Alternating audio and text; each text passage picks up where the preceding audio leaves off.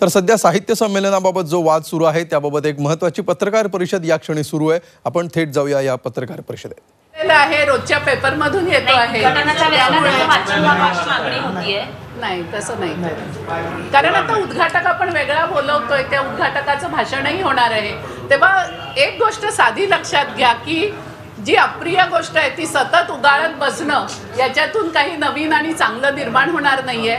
आपण नेहमीच चांगल्या गोष्टींकडे पुढे गेलं पाहिजे आणि वाईट गोष्टी मागे सोडल्या पाहिजेत तेव्हा तशाच प्रकाराने आपलं पुढचं कामकाज चालू राहील. मॅडम पण ज्या दोन परिसंवाद जे कॅन्सल होतात जे मान्यवर त्यात येणार होते जे पत्रकार येणार होते तो परिसंवाद तर कॅन्सल झाला कारण त्यांनी बहिष्कार टाकला तर त्या जागी तुम्ही दुसरे काही पर्यायी म्हणजे आम्ही दोनची आकर्षण. होती की त्या- आणि प्रभा कणोरकर ही जी आकर्षण होती तर त्या दोघी येणार नाहीये नाही आम्ही त्यासाठी दुसरी व्यवस्था करतोय दुसरे आमच्याही तयारी चालू आहे चर्चांची. आमच्याकडे फक्त दहा नावं आलेली आहेत की ज्यांनी कळवलंय की आम्ही येऊ शकत नाही. बाकीची फक्त चर्चा आहे पेपरातून आलंय इकडून आलंय. पण प्रत्यक्ष ज्यांची अधिकृत नावं आलेली नाहीत किंवा ज्यांनी येतो म्हणून कळवलंय आणि आता येत नाही कळवलंय तरच आपण त्याच्यासाठी पर्यायी व्यवस्था करू शकतो. आणि तसं रसिकांचं समाधान होईल अशा तऱ्हेचे सर्व कार्यक्रम संमेलनात नक्कीच होतील. या सगळ्या घटनेमुळे जो आयोजक आणि महामंडळामध्ये जो जी दरी निर्माण झाली होती तर ती आता सांधली जाईल एका दिवसात आणि दोघं मिळून संमेलन यशस्वीपणे पार पाडतील का? अगदी छान स- दरी वगैरे काहीच राहिलेली नाहीये. कारण काल संध्याकाळी मी हैदराबादहून आले आणि मी आल्याबरोबर इथल्या परिसरामध्ये भेट दिली.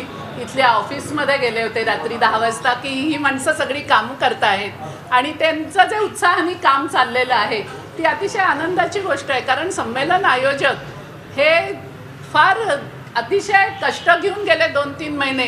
संमेलन यशस्वी करण्यासाठी धडपडत असतात. आणि महामंडळ त्यांच्या पाठीशी अशासाठी असतं की ही संमेलनाची योजना सगळी महामंडळ करत असतं. तेव्हा दोघांच्याही एकूण मैत्रभावातूनच संमेलन होईल.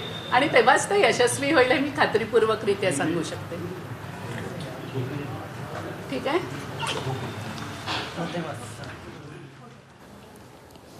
तर साहित्य संमेलनाच्या उद्घाटनाचा तिढा सुटला असा दावा साहित्य महामंडळाकडून करण्यात आलेला आहे. आत्महत्याग्रस्त शेतकऱ्याच्या पत्नींच्या हस्ते या संमेलनाचं उद्घाटन होणार आहे. आणि त्यामुळे जे साहित्यिक या संमेलनाला येणार नाहीत. अशी चर्चा आहे. त्यातल्या केवळ दहा जणांनीच आपल्याला लेखी कळवल्याचं देखील साहित्य महामंडळाने स्पष्ट केलेलं आहे. इतर लोक येणार की नाही याबाबत माध्यमांमध्ये आणि इतरत्र चर्चा आहेत. मात्र प्रत्यक्ष महामंडळापर्यंत असा कुठलाही लेखी व्यवहार झालेला नाही.